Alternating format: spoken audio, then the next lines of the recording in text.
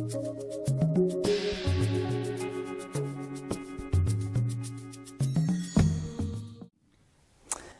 evening and welcome to Dhammasukha Meditation Center. This evening, Bhante Vimalaramsi will be giving a Dhamma talk on the Satipatthana Sutta, Majjhima Nikaya number 10, the Four Foundations of Mindfulness.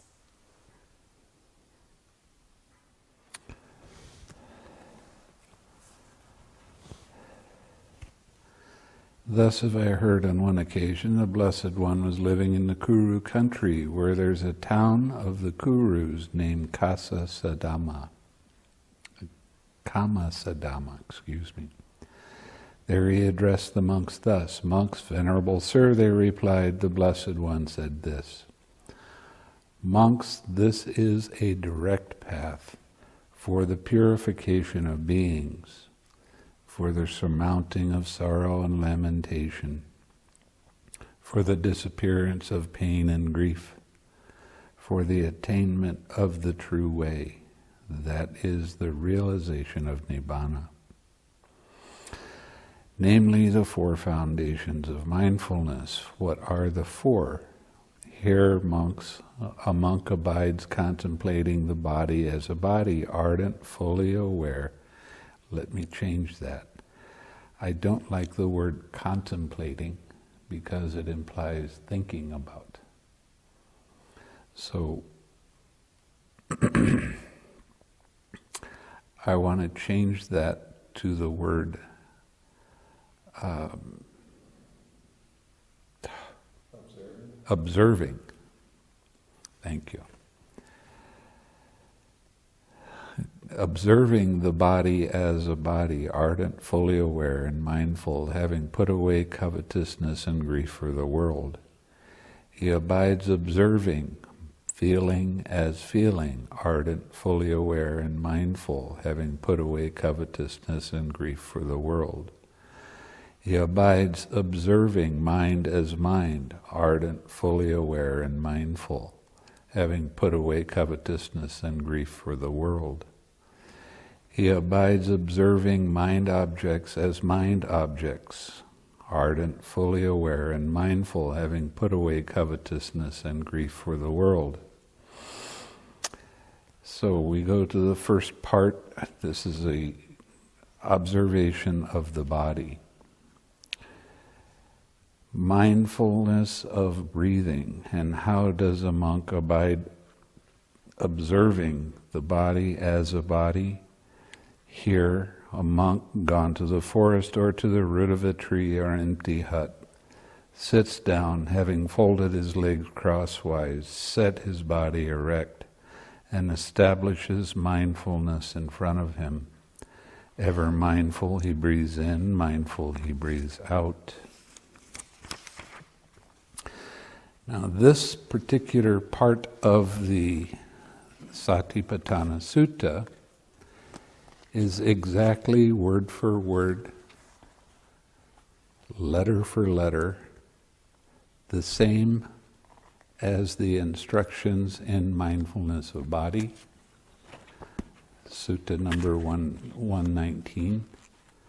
It's also in uh, the, the Sutta number 62. Breathing in long, he understands I breathe in long, or breathing out long, he understands I breathe out long.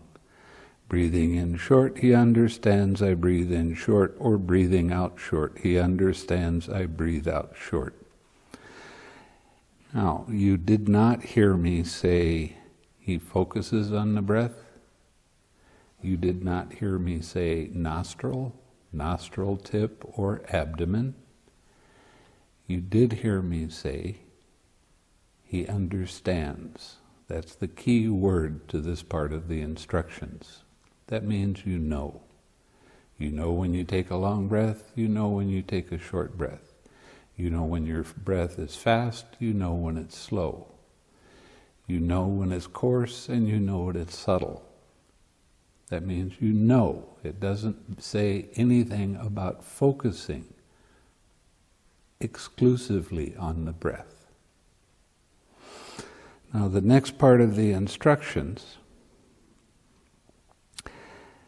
starts out, He trains thus. So, this is telling you this is exact, exactly the instructions that you need to follow, to do.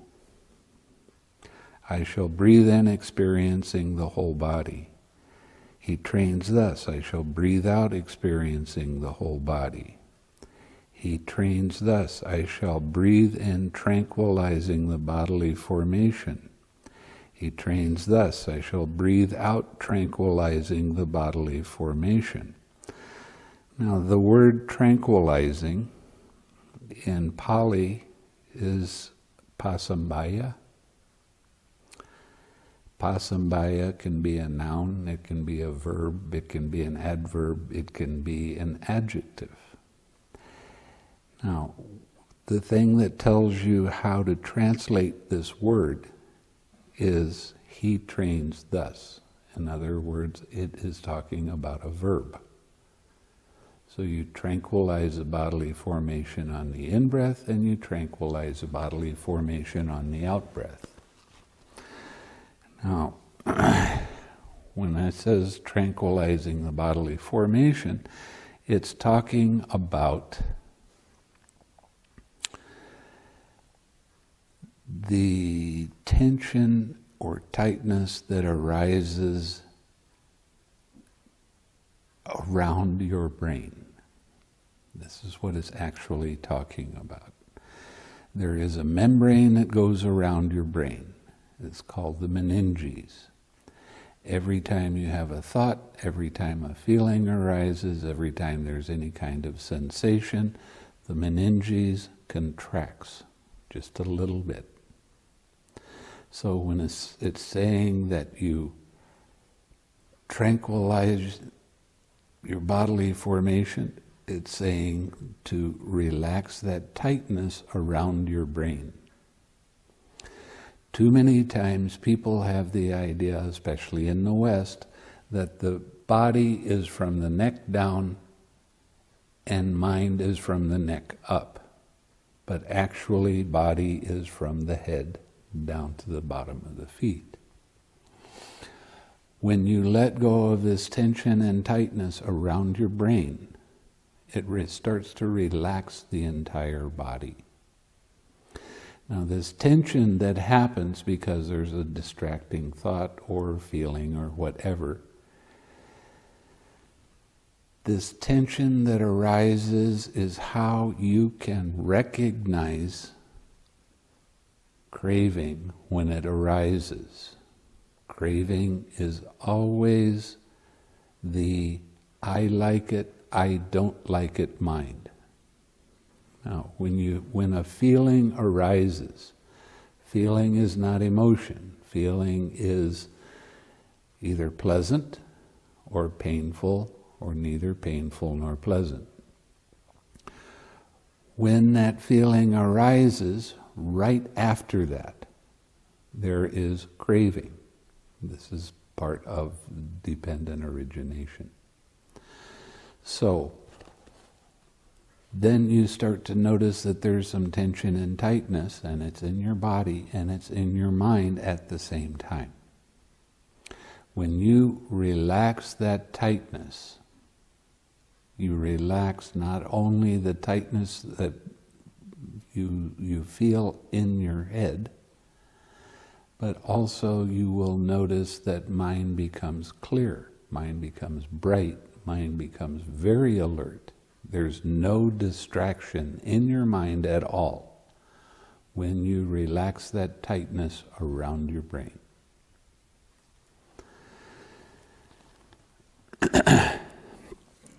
right after the craving, there is clinging. Clinging is all of your thoughts, all of your opinions, all of your ideas and stories about why you like or dislike whatever it is that arises. And right after that, you have your habitual tendency. In Pali, they call it bhava. The habitual tendency is where the emotional attachment begins. So, when a feeling arises and your mindfulness is sharp, you relax right then. When you relax, you've let go of craving. And if there is no craving, then there is no clinging. And if there is no clinging, there is no habitual tendency. If there's no habitual tendency, there's no birth of action.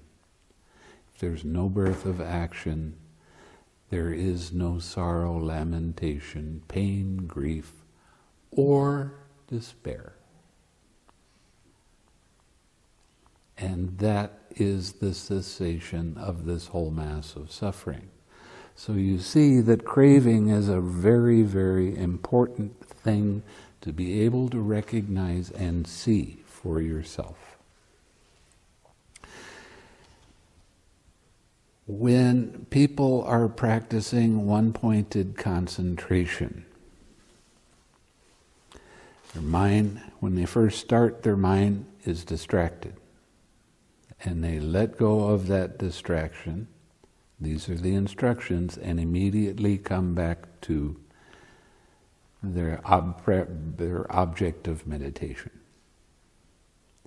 And what they are actually doing is they are bringing craving back to the object of meditation. So they never are really able to see it or notice it. And as a result, mind becomes very one pointed. Mind becomes very absorbed into your object of meditation, and you're told to follow that and focus only on the breath. But with these instructions, what the Buddha is actually saying is the breath is the reminder to relax. On the in breath, relax. On the out breath, relax. That one extra step is major. If you don't have that one extra step, your mind becomes very absorbed and you only stay on that object of meditation. And when you're only on that object of meditation, you're not learning anything. You're not, you're not able to observe how these things actually arise because your mind is so focused. And the force of the concentration will eventually stop hindrances from arising.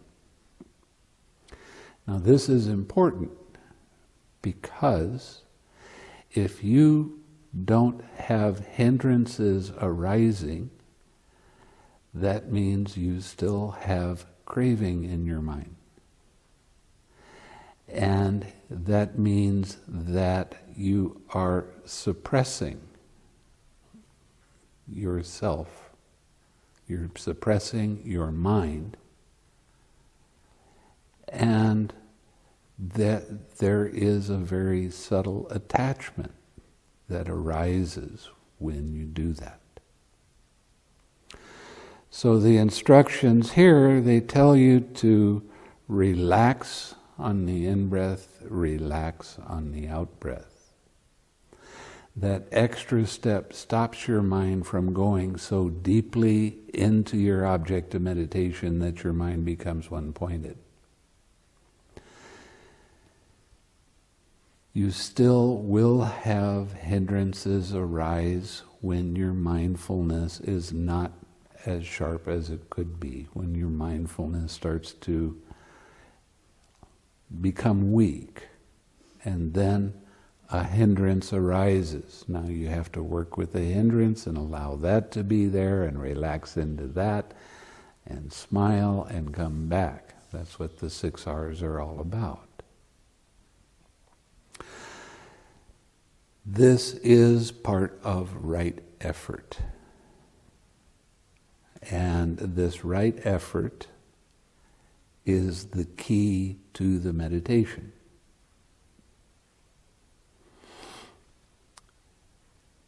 It's learning how to recognize when there is an attachment in your mind. Right effort has four parts to it. Recognizing when there is a distraction and it is unwholesome. Why is it unwholesome?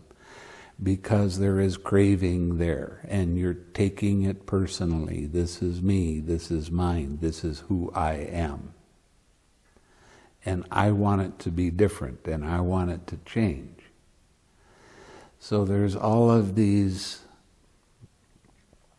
other distractions that can arise.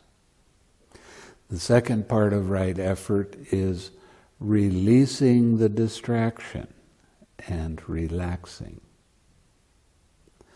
The third part of right effort is bringing up something that's wholesome.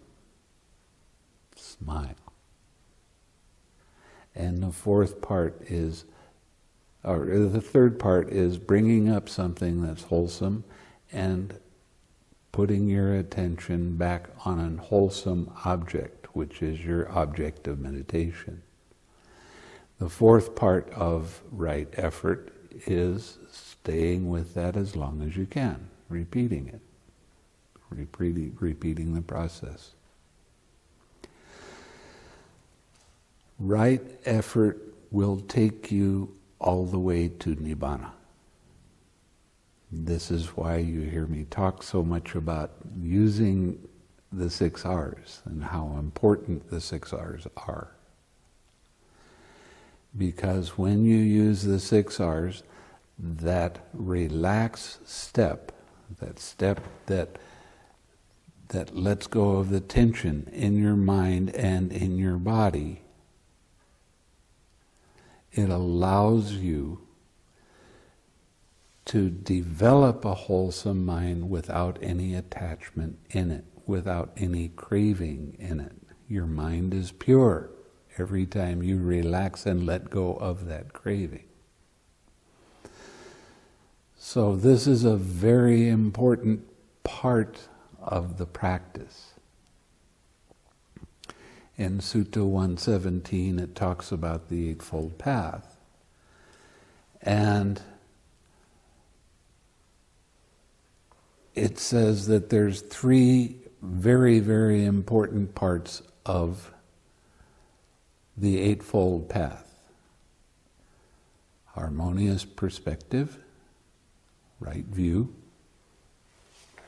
Harmonious perspective means seeing things without having any craving in it, seeing it as it actually is, seeing how this process actually does work right mindfulness, and right effort. These three parts of the Eightfold Path are talked about in glowing terms as being this is the way. What is mindfulness? Remembering to observe how mind's attention moves from one thing to another an awful lot of people that practice straight vipassana, they wind up using mindfulness as a club to beat away the distraction, to stop it from happening. But when you're when you're following these instructions, you don't stop anything from happening. What you do is you don't keep your attention on that distraction. Now, I have practiced vipassana for 20 years. I do understand noting and how well it seems to work. But there is that subtle craving that is not recognized, and you're supposed to note something until it goes away by itself, and immediately come back to rise and fall or nostril tip, wherever it happens to be. Now you're bringing back craving when you do that. Mindfulness is just simple observation of how this process actually does work. It's a real amazing tool. But if you don't have right effort in with right mindfulness, the mindfulness turns into wrong mindfulness, where you're using that as a tool to push things away, to stop them from happening. Now, the thing with the Buddha's path is everything that the Buddha talks about is about letting go of tension, letting go of tightness, opening up, and just observing, not keeping your attention on anything for too long a period of time, not noting something until it goes away. Because the noting, what it does is if there's no relaxed step, it just reinforces that craving.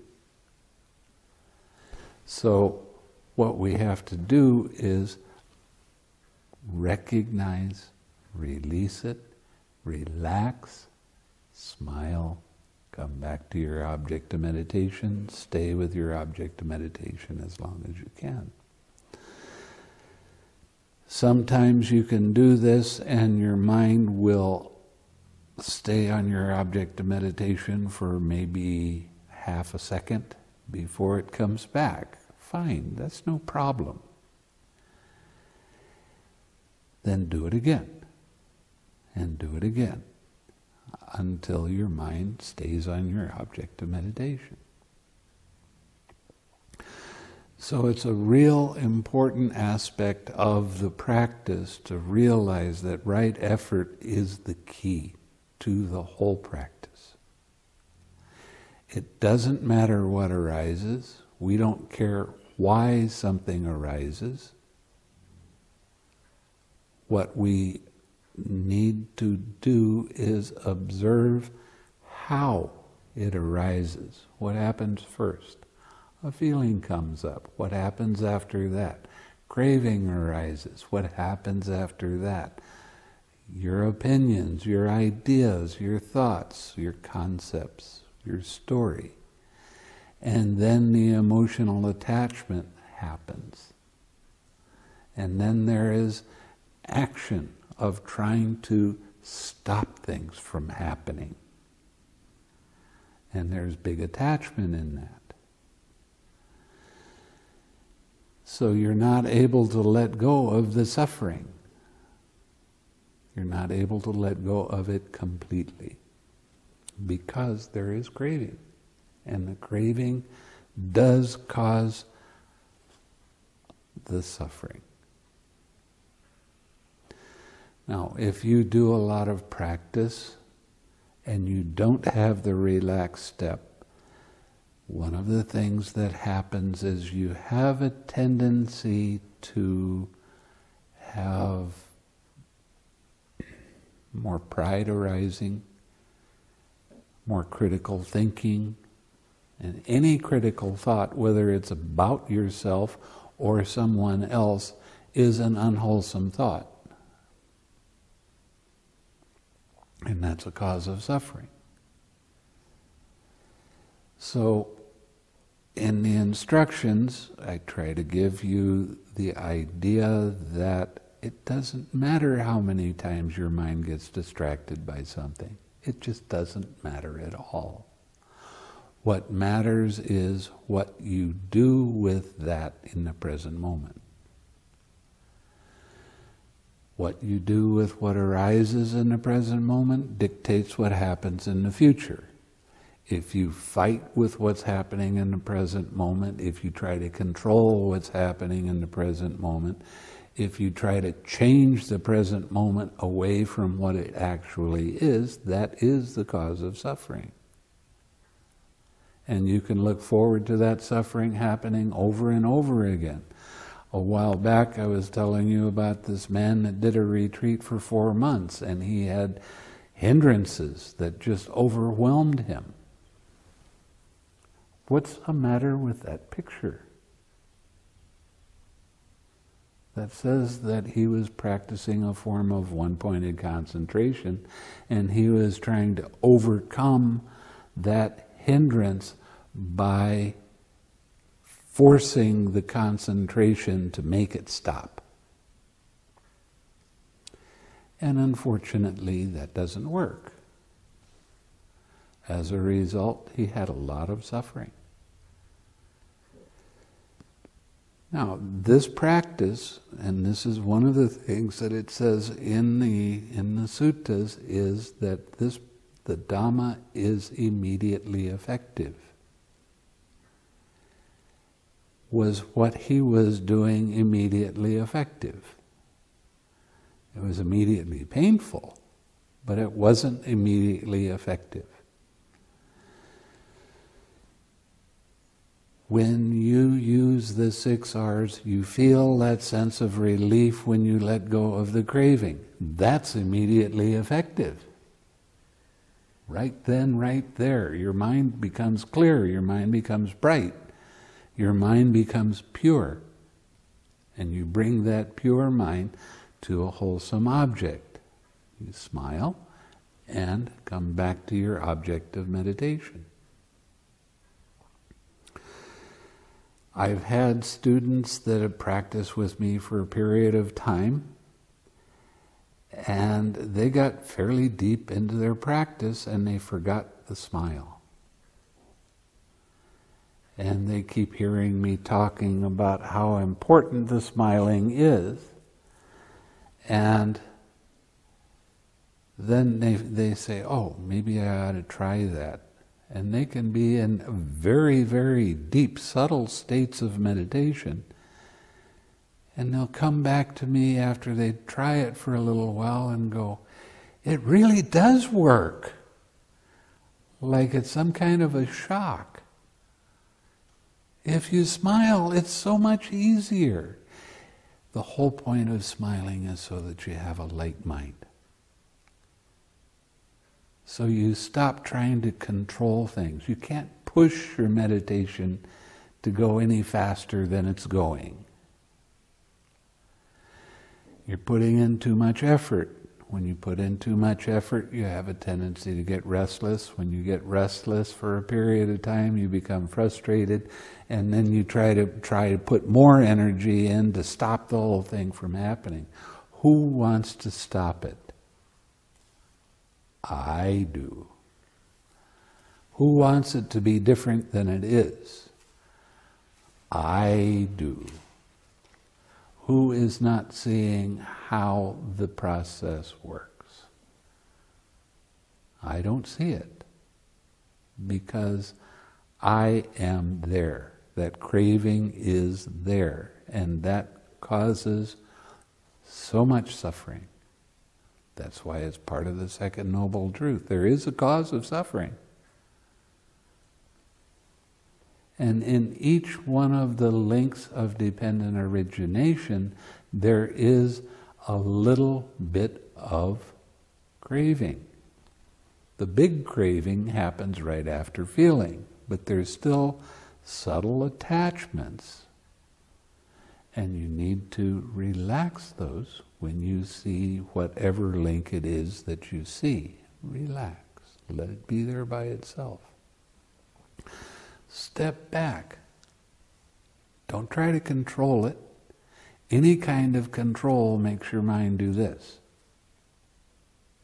And that's not the Buddha's teaching. The Buddha's teaching is this. So you don't need to control anything. Some people, when they're practicing loving kindness, they say, well, the, the feeling of loving kindness isn't very strong. I'll try to push it out and make it go stronger. And it doesn't get any stronger, and you become frustrated with that. You start doubting and all of this kind of stuff. It's because you're putting in the wrong kind of energy. We're taught, especially in Asia, always to put more energy into the practice. I had one teacher that said there are 50,000 seconds in a day, and you should note 50,000 times. Now, that's wrong effort. There's no getting around it. What you want to do is put less effort in, but you have to learn what that balance is. If you put in not quite enough, you start to dull out. Now you need to put a little bit more in.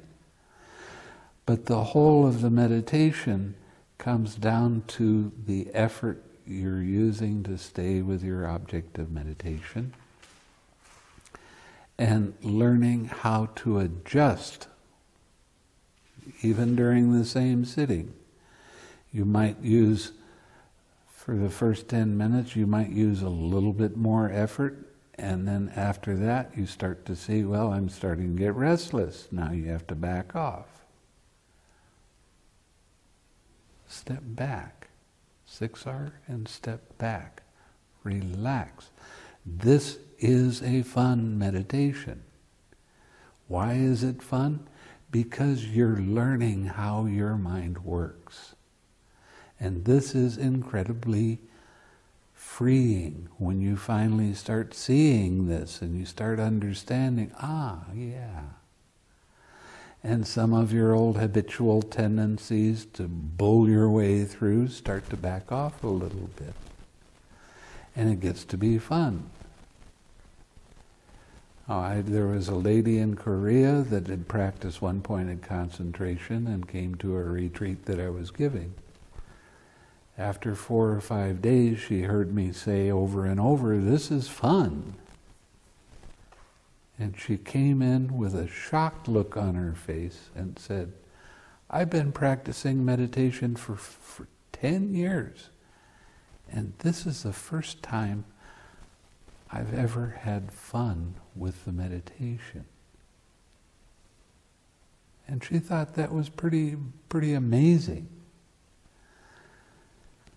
I was I gave a talk in uh, California to some people that had practi- been practicing one pointed concentration. They've been practicing quote uh, choiceless awareness, which is another form of concentration. It comes mostly from the Zen when they say just sit and don't think. Well, as I was giving a talk, I said, you know, this meditation is three things. You have to learn how to smile. You have to learn how to laugh with yourself for trying too hard. And this is fun. And I said, has anybody ever heard any meditation teacher use those three words in the same sentence? No, no, we've never heard that. Now, what does laughing do? When you giggle with yourself for trying too hard, it changes your perspective. It changes your pers- perspective from, I am this, I can control this, I want it to be this way, to, well, it's only this. So it goes from being a personal desire to an impersonal observation without any craving in it. So laughing is a real, it's the fastest way I know of to let go of a hindrance. Just laugh, kind of giggle with yourself. When you do that, you start lightening up. You stop trying so hard and you see, ah, yeah, that's what I've been doing, and it's fun because you've taught yourself a lesson. That's what the meditation is all about. I am not teaching you anything. You are teaching yourself from your direct experience. I'm a guide. I'll keep you on the path. That's all I do. you have to, to realize that you need to teach yourself how this process works.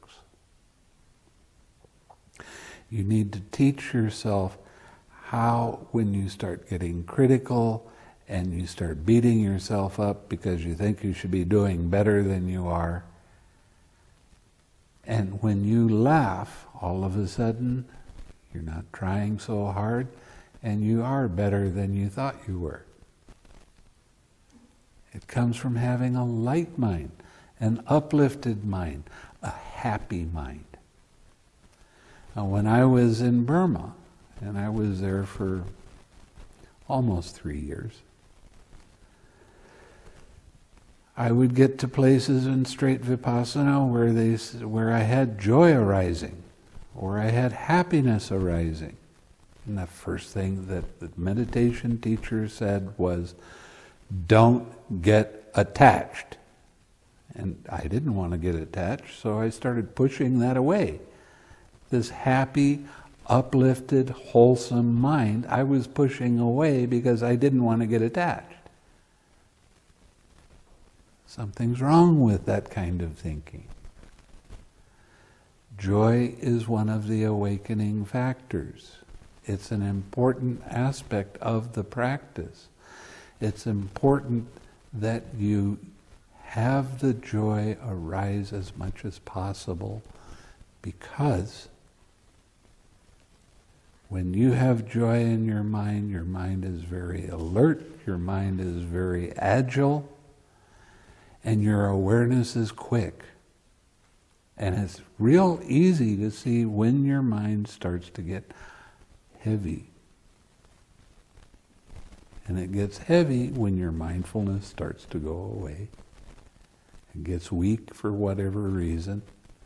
You become distracted. Now, let it be. Relax. Kind of chuckle with yourself. I got caught again. You'd think I'd learn faster. Slow learner. I was. I was such a slow learner, it took me 20 years to finally decide doing the same thing over and over and expecting a different result is dumb. You have to change something. And that's what the blessing of going to the suttas is all about because all of the instructions are here. You don't need to make up a different way. You don't need to add, well, I did the Zen retreat, maybe I'll try doing some of that along with this, along with some other practice, and you get it so confused that you don't have any progress in your meditation. Remember, just do one practice at a time and do that with the six R's. Now you're doing this, the practice correctly. It doesn't matter what your object of meditation is. I tell you to do the loving kindness because your progress in loving kindness meditation is faster than with any other kind of meditation. I'm used right now to having, oh, 75% of the people that come to me practice loving kindness meditation and they get into the arupa jhanas in, in seven days. Now, if you hear any other teacher talk about getting into the arupa jhanas, they're talking about years. What's the difference? They're putting in wrong effort. They're focusing their minds so the force of the concentration suppresses the hindrances and they hit a plateau and they just stay there. And I've, I've heard one meditation teacher say when somebody said, I've been doing this for a long time and I keep I don't get any benefit from it. Well, just grin and bear it. grin and bear it? What kind of instruction is that? Yeah, you're going to suffer. So what? Well, the whole idea of the teach, teaching of the Buddha is to let go of suffering, not to indulge in it. So you need to realize there has to be a change. If you're stuck at a certain place and you don't see like you're, you're progressing, then observe how you're using the right effort. Smile more. Chuckle with yourself for getting caught.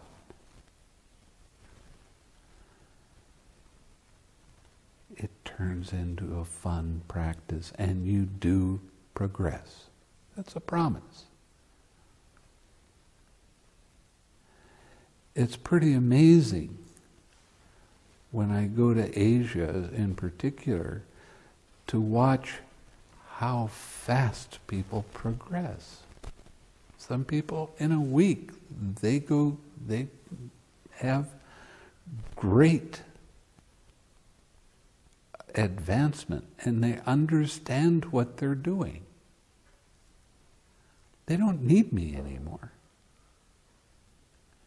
They can pick up the suttas and they start reading the suttas and they will understand it because you're on the right path and you're doing it right and you see what the Buddha was actually saying and you understand because it's your direct experience.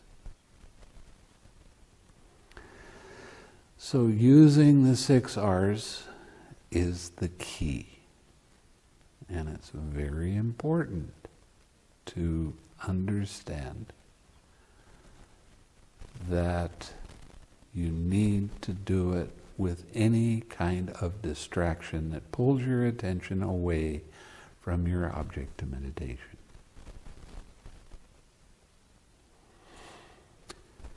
Now, your object of meditation when you're doing loving kindness can change.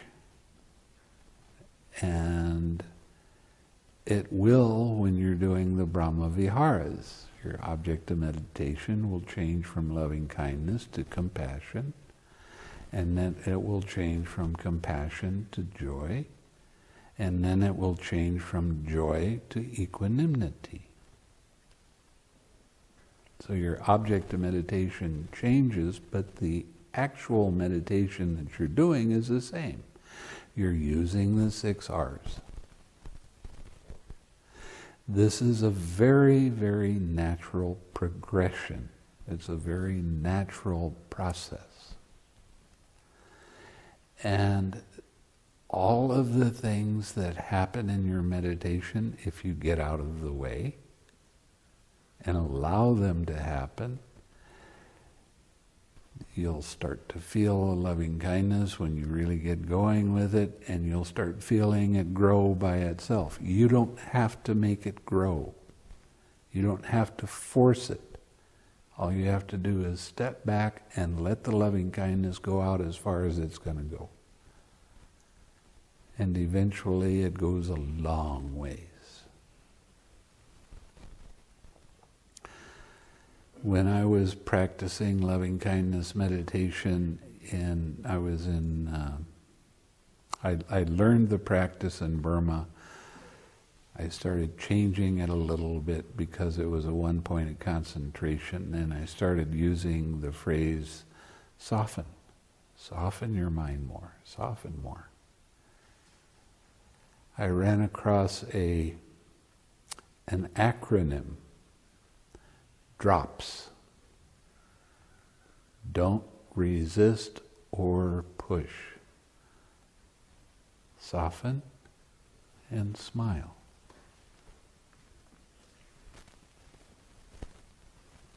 That works very well. As a result, I would go into the teacher and I would talk to him a little bit, and he would say, Well, how far is your loving kindness going out? And, well, at least this universe. Now, most, most of the time, nobody ever talks like that.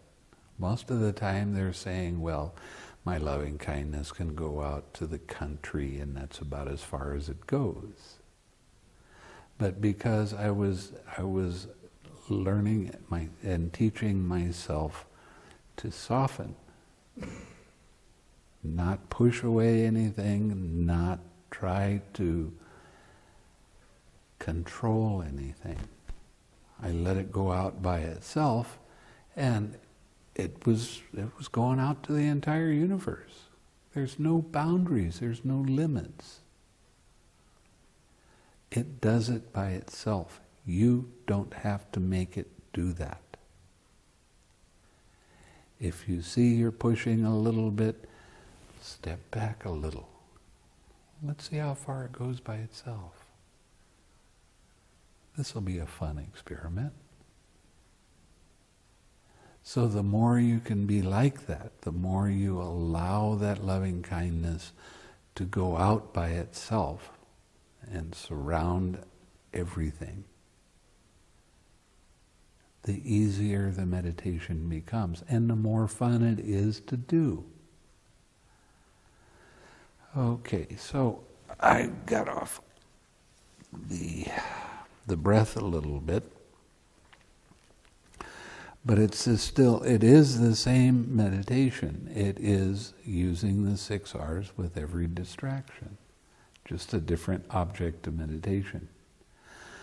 Like I said, the loving kindness meditation, your progress is, a, is faster with that than it is with any other kind of meditation.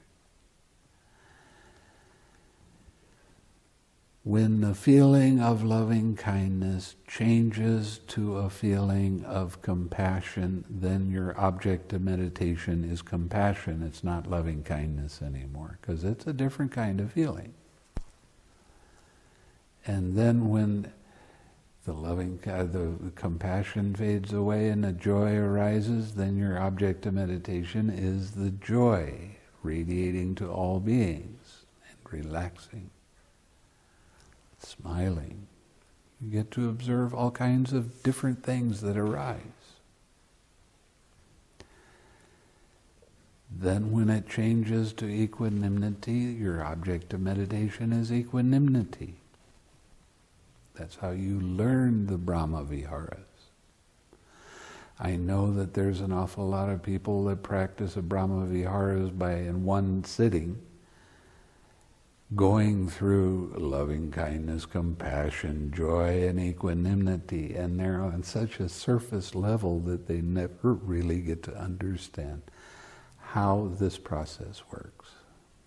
But they think they're doing something wonderful by doing that. So, your meditation is about effort the, the more balanced your effort is, the lighter your effort is, the faster your progress becomes.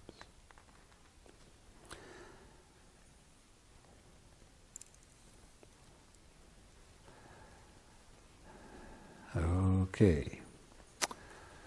So, then we get to the insight. Now, the insights in this particular um, translation, I don't really agree with very much.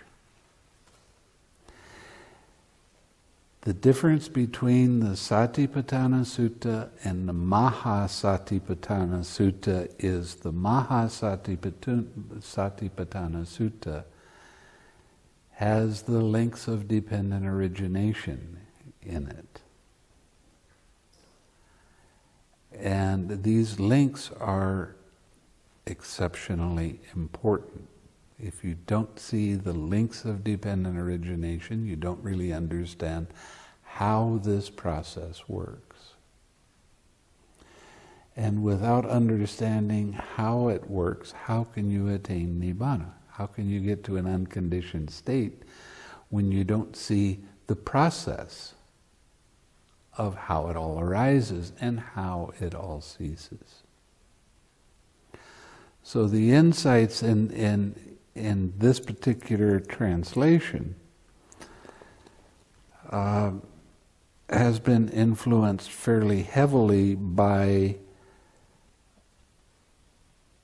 um, commentaries and sub-commentaries, where the focus of the meditation is seeing that everything is impermanent, everything is suffering, everything is not self, and they don't know what not self means. I don't use the word not self very often. I use the word impersonal because that tells you what not self is. It's an impersonal process. It's not my process. I can't have I can't make these things come up, but I can observe how they come up. So when you overemphasize impermanence, suffering, and the impersonal nature of things, you can see all of these three characteristics in everything without ever seeing the links of dependent origination. But when you see the links of dependent origination, you always see the impermanence, the suffering, and the impersonal nature. You always see that. So, what do you think is most important to observe? Do you think it's most important to observe only impermanence, suffering, and the impersonal nature, or is it more important to see that in every link of the dependent origination and see it naturally not looking for it, but observing it. That's what the meditation is about. So, when we get to this insight, in this way he abides observing the body as a body internally, he abides observing the body as a body externally. He abides observing the body as a body both internally and externally. Now, here is where the translation starts to get more and more iffy because it says, or else. Now, the word or shouldn't be there because it's saying, well, if you don't observe it this way, you can observe it this way. And that divides the practice. So I take or out. He abides observing the body, its true nature of arising. He ab- abides observing in the body its true nature of vanishing. Now that's the overemphasis on impermanence. You naturally observe that when you see how the links of dependent origination work. But that's not where the insights are. It's not observing the impermanence or suffering or impersonal nature. It is seeing and understanding the process, the impersonal process of how these links occur, how they arise, they are there, they vanish very quickly. You don't have to tell yourself, well, this is impermanent. Because if you do that, you don't see the rest of the links because this happens very quickly.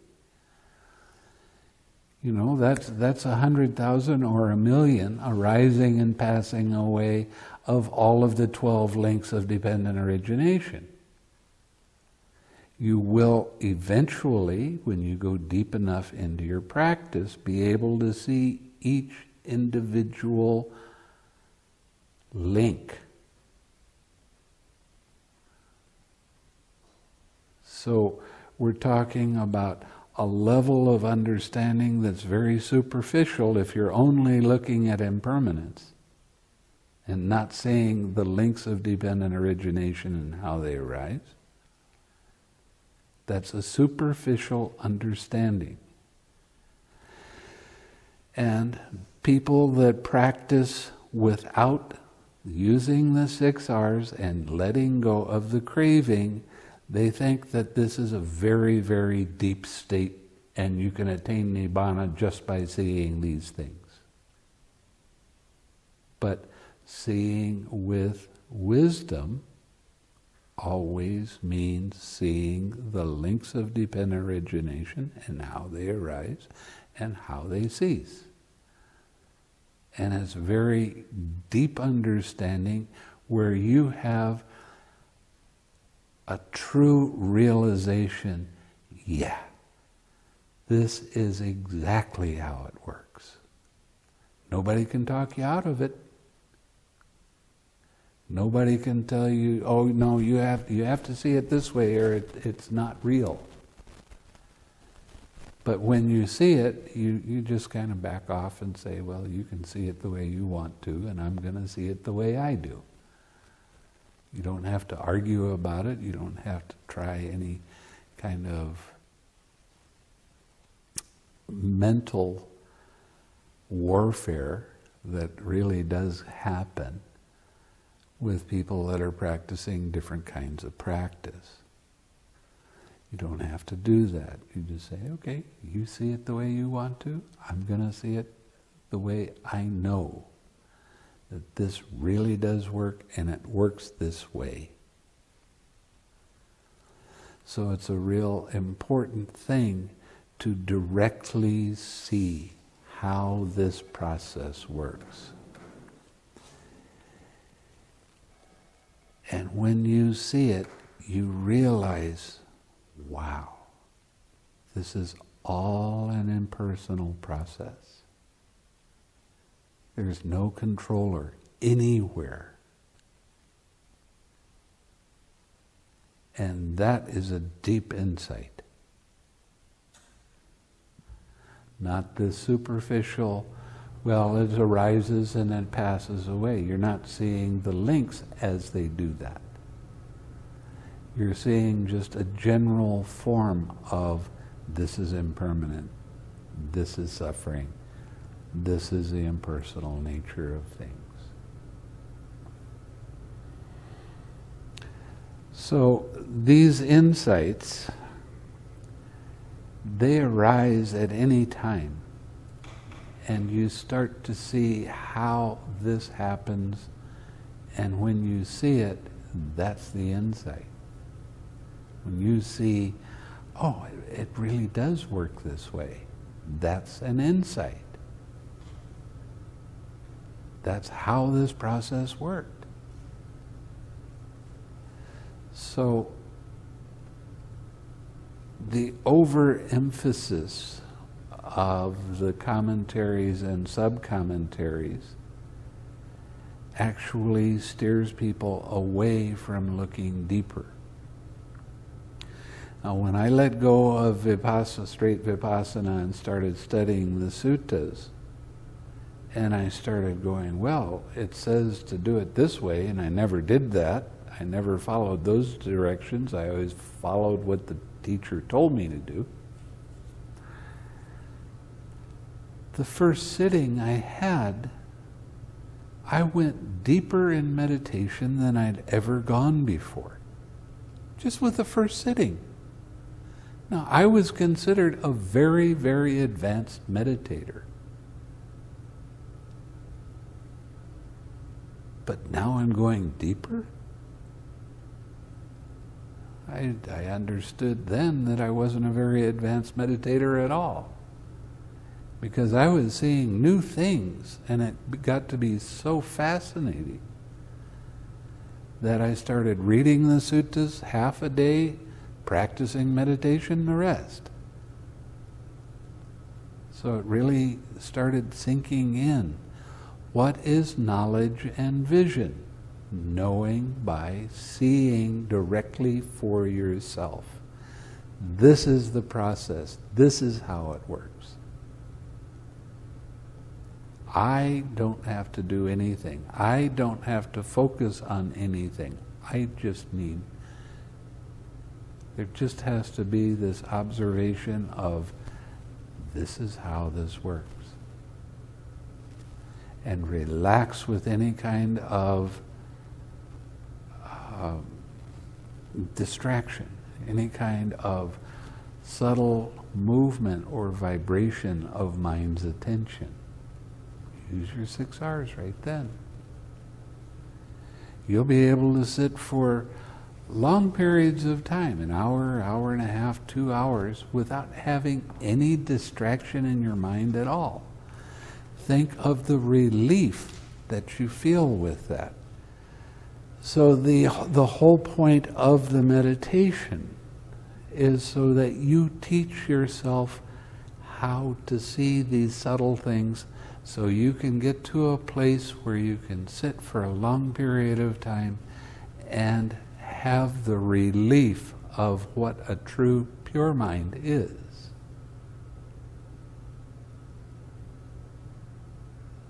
The pure mind is called the eye of wisdom by the Buddha. You know, when you go to, oh, Kathmandu, you see a lot of stupas, a lot of uh,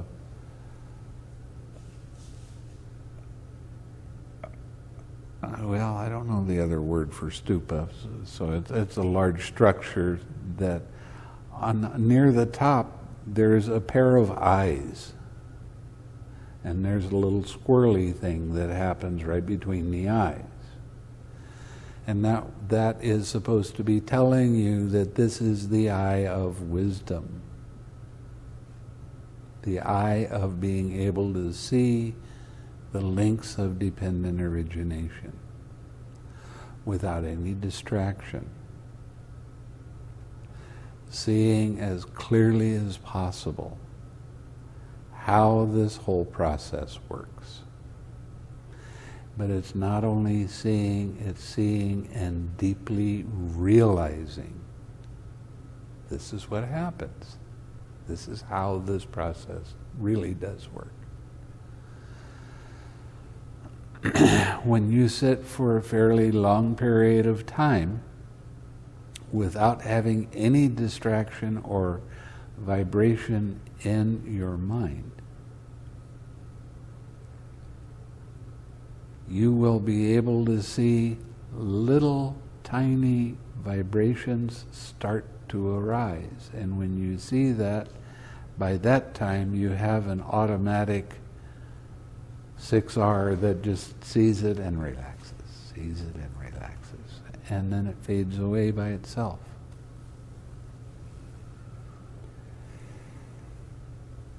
So the whole process of the insights is being able to see the different links when they arise.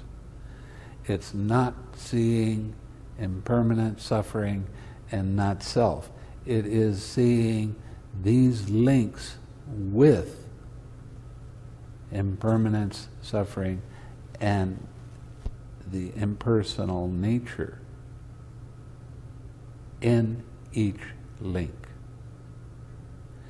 Each link of dependent origination has the Four Noble Truths in it. Now, this is pretty amazing for a lot of people to realize. But when you see it for yourself, it's very profound.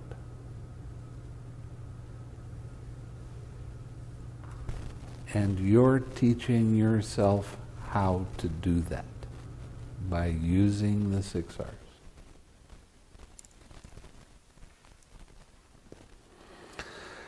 Okay, now we go to the four postures. Now, this in street vipassana, I've always kind of gotten a kick out of because I had the instructions of when you're walking, you note walking, walking, walking, walking, walking. When you sit down, you note sitting, sitting, sitting, sitting.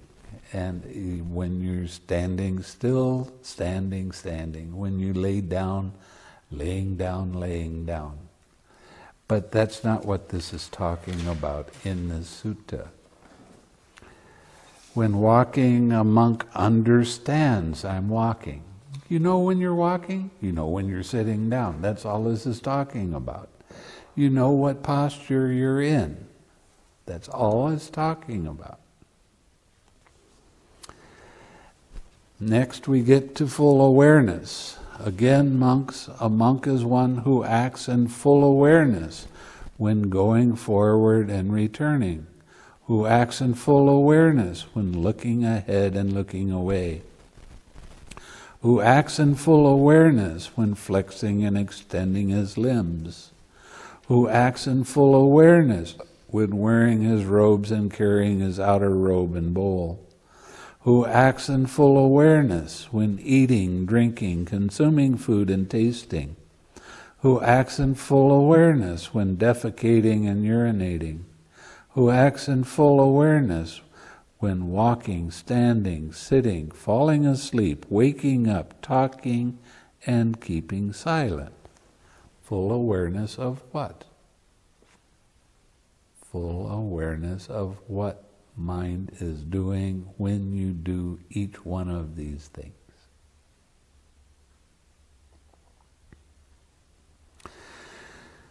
I had an insight because it keeps on talking about having awareness of bodily, or have, having awareness of your mindfulness of your body. What does that mean, mindfulness of your body? Well, when you have mindfulness of your body and your head and your brain are part of the body, it's talking about mindfulness of the craving when it first arises and tightens around the brain. And when you relax, now your mind is pure. Now your mind is clear. Your mind doesn't have any distraction in it. That's what mindfulness of the body is talking about. When you let go of that tightness in your head, you start letting go of tightness all the way down your back and through your legs and through your arms and through the front of your body. That is mindfulness of the body. So when you let go of craving and you do it often enough, you will notice that one, you start to get a little bit healthier, and two, you, it's easy to let go of tensions, headaches, aches and pains. It's easier to let it go and let it be there without trying to control. So, mindfulness of the body also includes the letting go of craving that wraps around your head with that meninges, and when you let it go, you have mindfulness of the body very clearly, very alertly.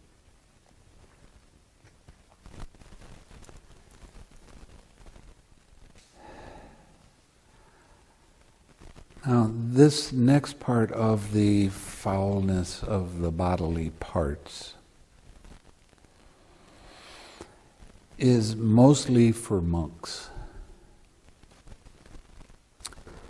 because you have to be around a teacher that understands that meditation so you don't get so repulsed by your body that you want to get rid of it.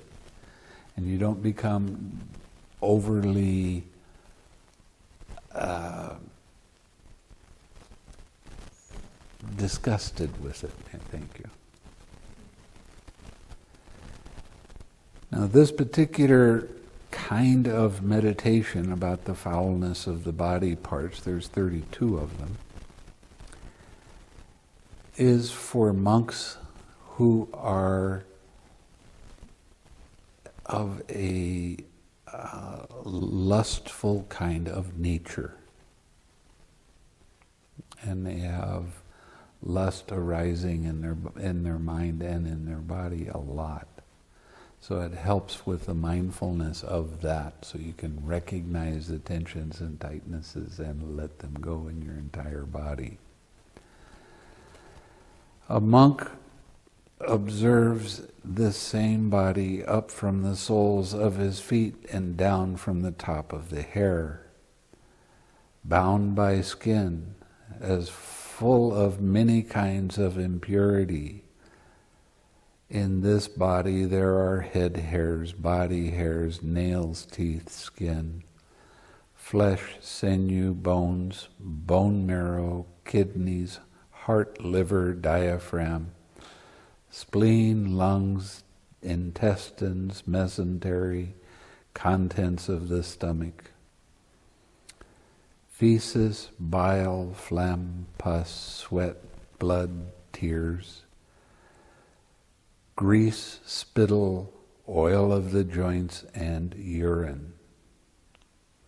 So these are all of the body parts. This is what your body is made up of. Now, when, when some people, when I was in Malaysia, I was teaching this to a lot of college students. And they would, they would be doing the loving kindness, and all of a sudden they'd have lust coming up. And they said, Well, how can we overcome that? I said, It's very simple. When you see some, a beautiful body walk by, turn it inside out what's beautiful about phlegm, bile, pus, snot, urine. Oh, you've got great urine. How does that make your mind feel? Do you have lust in your mind now? Oh, what a wonderful liver you have. That feces is really something nice. So, and, and the reason that you use this kind of meditation is so that you put your mind back into balance, so that you're not caught up in the lust anymore. That's what this meditation is about. And I did it with a teacher, and to do it properly the way he taught me was it, it took. Uh, just over six months of doing it every day. And doing it a lot every day. Okay, the next part of this is getting into the nine charnel ground or observations, and we're not able to do that in this country, so I don't really go into that. Charnel ground is where they in India, somebody would die, friends would take the body to the charnel ground, let the family know, that, and they might be a long way away, and let the, let the family know that the body was there and they should take care of it. But sometimes they came and sometimes they didn't. Sometimes they were a long ways away and the bodies would just rot. And when you realize that you, your body is no different from theirs, it puts you through some changes. Okay.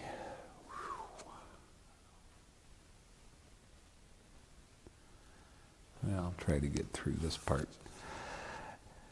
Next is the contemplation of feeling. Now, one of the things with the way that I tell you about the foundations of mindfulness is so that you realize that the foundations of mindfulness has both vipassana and samatha meditation yoked together. It's not just a vipassana uh, thing. It's samatha and vipassana together. That's what the six R's show you. You get insights and you have the jhanas at the same time, and you have insights while you are in the jhanas. it's not just this is vipassana, this is samatha, and the two shall never meet. That only happens when there is no six R's. There is no craving, there is no understanding of what craving is. And for 20 years, I was told about the jhana practice that it only leads to psychic abilities. And you have to have vipassana. So people are getting creative and they say, well, I want to do the jhanas anyway.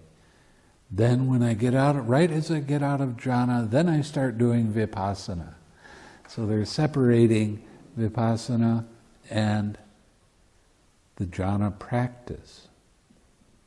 And they think that's the way to attain nibbana. But the way they're practicing the jhana practice is one pointed concentration where there is the natural suppression of the hindrances, which means there's still attachments there. There's still the belief in a personal self there. And the vipassana that they try to practice is just seeing impermanence, unsatisfactoriness and the not self nature of things, but they don't really understand it very well. How can you attain Nibbana if you still have some attachments?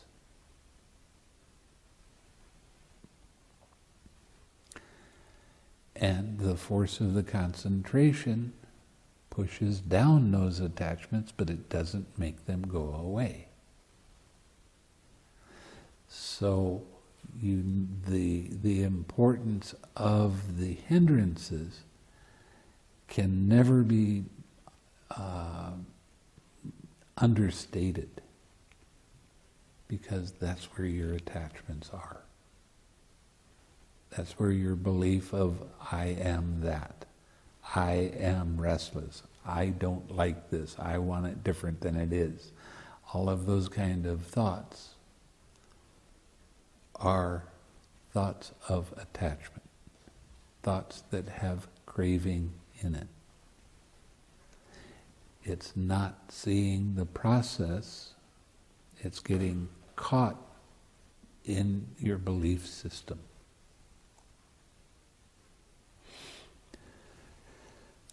Okay.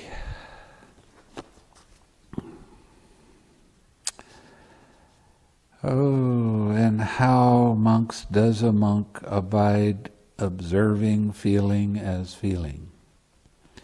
Here, when, a, when feeling a pleasant feeling, a monk understands I feel a pleasant feeling. When feeling a painful feeling, he understands I feel a painful feeling. When feeling a neither painful nor pleasant feeling, he understands I feel a neither painful nor pleasant feeling. When feeling a worldly pleasant feeling, he understands I feel a worldly pleasant feeling. What is a worldly pleasant feeling? You ever stub your toe? It's a physical feeling that you identify with, that you take personally. No. It's a, it's a feeling that is worldly. You do in your worldly daily life, and you take that as yours, and you try to control it and do all your different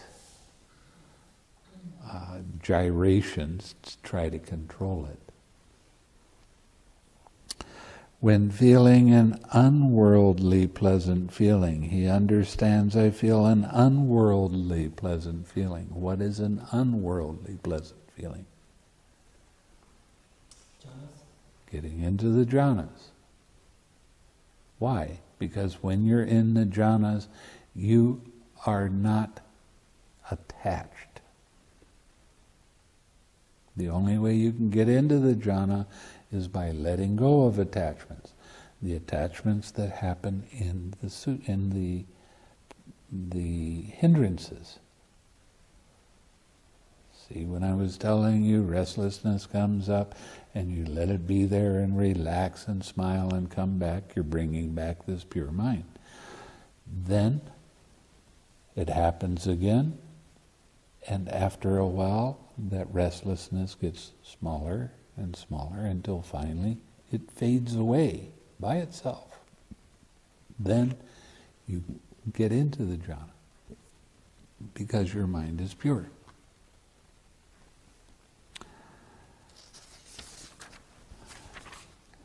When feeling a worldly painful feeling, he understands I feel a wor- worldly painful feeling. When I was talking about stubbing your toe, I was talking about the painful feeling. Excuse me.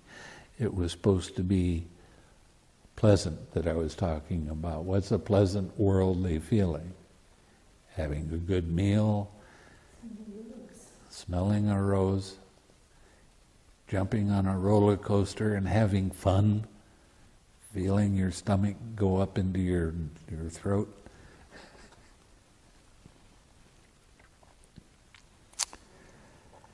But what is a worldly painful feeling? Stubbing your toe, having pain arise. It's not a pleasant thing. When feeling an unworldly painful feeling, he understands I feel an unworldly painful feeling. What is that?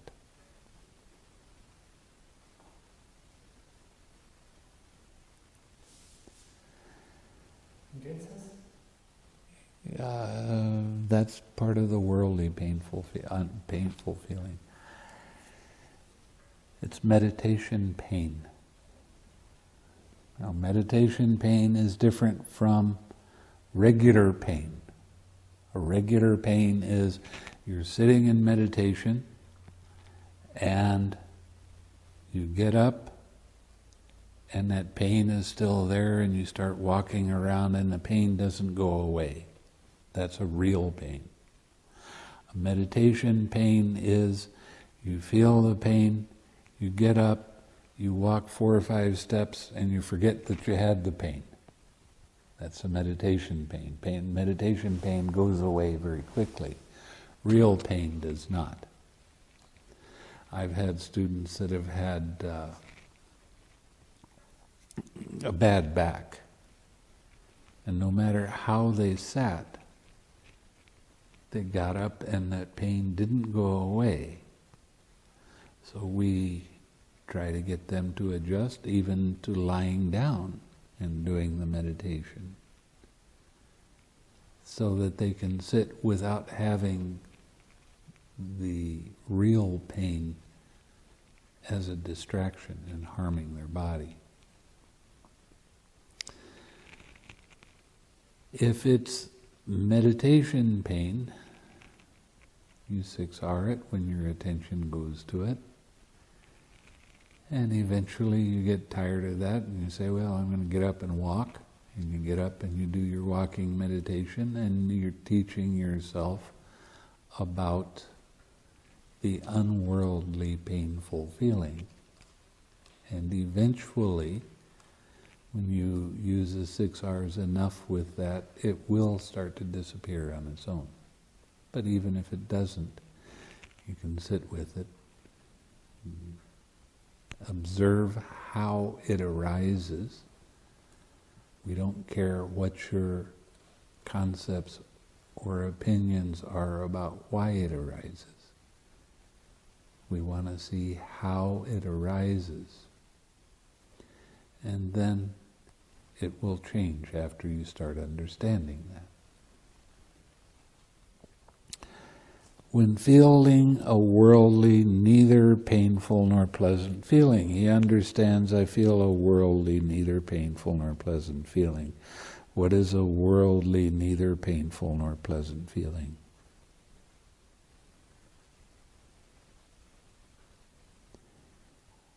Indifference. Just being indifferent Now, when feeling an unworldly, neither painful nor pleasant feeling, he understands I feel an unworldly, neither painful nor pleasant feeling. What is an unworldly, neither painful nor pleasant feeling? That is equanimity. Now, what's the difference between equanimity and indifference? Equanimity has mindfulness in it. Indifference has ignoring. So there's no mindfulness. That's what the basic difference is. In other words, neither painful nor pleasant worldly feeling, yeah, there's nothing there. Who cares? I don't have to keep watching. I don't have to see how this arises or doesn't arise.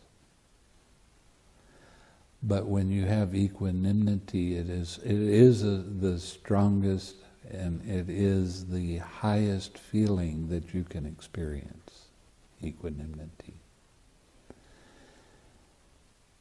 On the mundane level.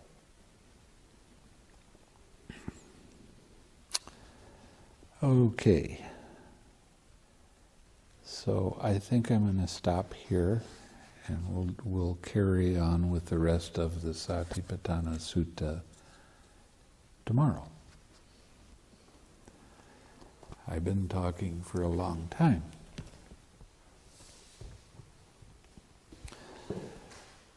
Do you have any questions?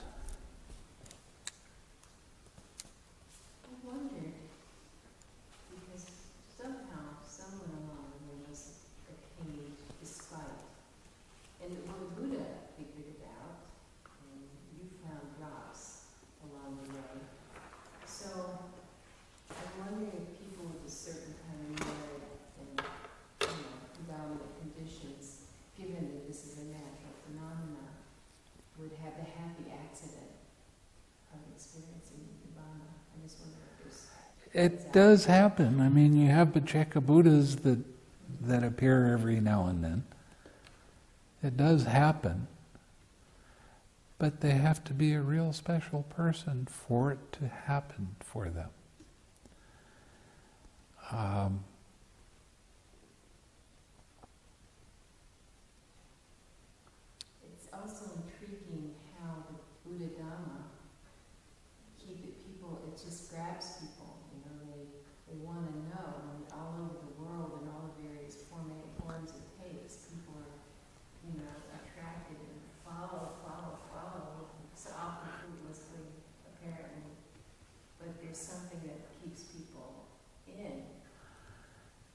Yeah.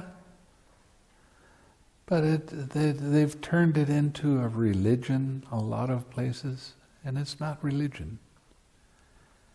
It is learning how to develop your understanding of how things actually do work. And it's, it's kind of interesting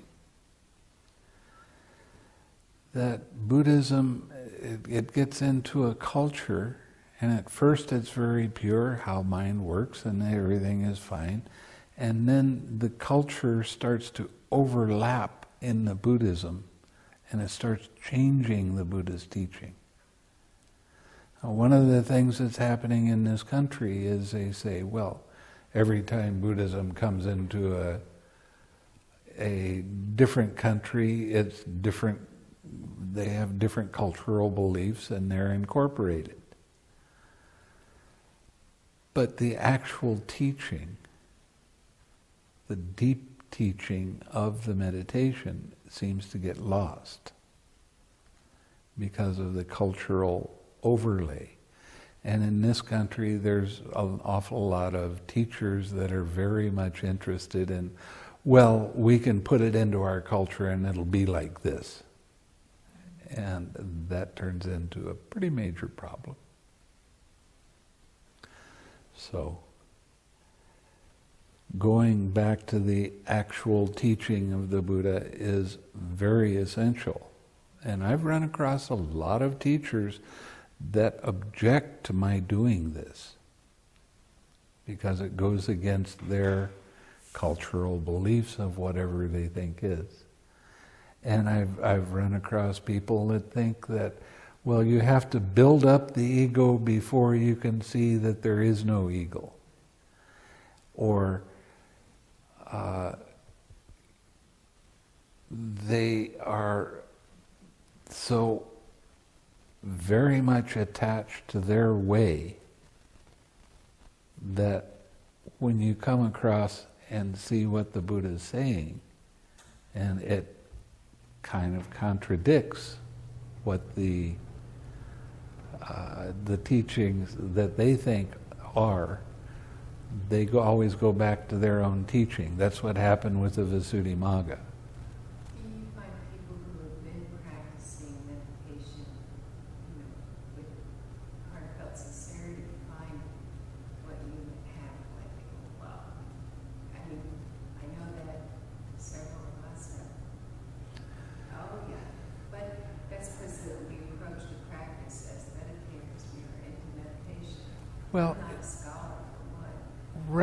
But the, see, the thing is, any meditation that you do, it gets you on the path. Whether it's going on the right path or not, that's up for interpretation. But you learn discipline, you learn to develop some concentration, and these things are needed. And when you add that one extra step, of relaxing that changes the entire meditation. It's not that you've wasted your time. I didn't waste my time for 20 years. I was learning the whole time. But it didn't go to the end result that I was interested in. So I started looking for something else and eventually came to the suttas and I was blown away by how much deeper my understanding became quickly. And the progress, I mean, this particular way of studying the Buddha's teaching is never dull. It's never boring it's exciting to learn, and you have these. I, I can read the same sutta, and I've listened to the same sutta every day for three months and got something different out of it every time. And this was just on a cassette. I listened to it once a day. You'd think I'd had have had it memorized after three months, but the nature of the suttas is there's different levels for your understanding. When you have an experience of one way or another, then all of a sudden it's new Dhamma. Hey, this is fun stuff. I mean, I, I have realizations sometimes about something simple. How many times have you heard lust, hatred, and delusion? Well, I had an insight as to what that really is. That's a different way of saying craving. I like it. I don't like it. I. And when, when you see that, the way my mind works is I, I don't have quick wisdom, I don't have quick understanding. But when I think about it deeply, I go into every aspect to see whether that's really true or not. And then when I see it is, I know how to use it in all different kinds of ways. That's just the way my mind works. Uh, I had a teacher that was uh, very sensitive to psychic abilities and reading minds and that sort of thing. And I went to him and said, I want to study with you for a period of time. And he just sat there very quietly for a little while and he said, Your mind is not fast, but it is exceptionally deep. And that's the way I've learned everything. When, when I think about it enough, and I go through in my mind and try to see whether it's really the way it is or not, then I know all the different ways to use it that are in agreement. Just one of the weirdnesses of my mind. Wish it was faster, but sometimes it just isn't. but the thing that pulls people truly to Buddhism is not the superficial belief. It is suffering. You're suffering. I suffered before I found Buddhism. I was looking all over the place. Teach me meditation. Teach me how to let go of this nonsense stuff. When I came across Buddhism, I found it. And it is the suffering that arose and forced me to start changing. So suffering is not necessarily a bad thing. But when you see how you cause yourself pain by acting in this way and that way over and over and over again, then you start going, ah, maybe we won't do that this time. See what happens. How much easier is that?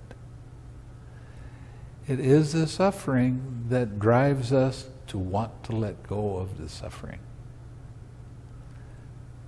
That's why being reborn as a human being is such a blessing. Because it's not always like in the Deva realms, there's a lot of pleasure in that. And it's easy to get lost in it, and you don't see the suffering.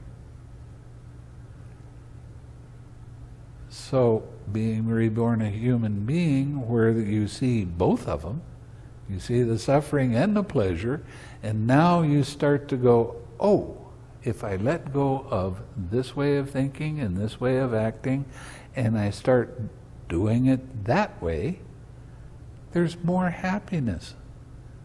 There's more ease in my mind. There's more understanding of how all of these different things work together.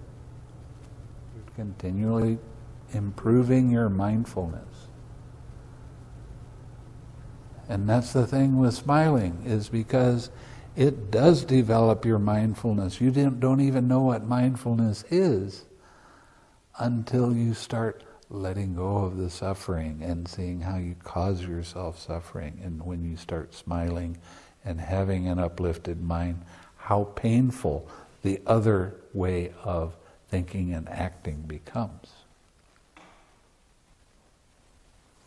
So the more you can smile with your daily activities, the better your mindfulness becomes.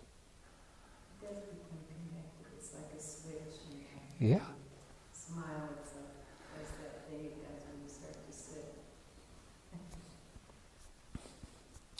It's a real important part of the practice that doesn't get talked about very often. I have been to, I've given some talks about smiling, and scholars will come up and tell me the Buddha didn't really tell you that you're supposed to smile. He didn't directly tell you you're supposed to smile, but he did directly tell you how to have a wholesome mind, which makes you smile. And that's what smiling is all about. So, Okay, let's share some merit then. May suffering ones be suffering free and the fear struck fearless be. May the grieving shed all grief and may all beings find relief. May all beings share this merit that we've thus acquired for the acquisition of all kinds of happiness. May beings inhabiting space and earth Devas and Nagas of mighty powers share this merit of ours. May they long protect the Buddha's dispensation. Sadhu, sadhu, sadhu.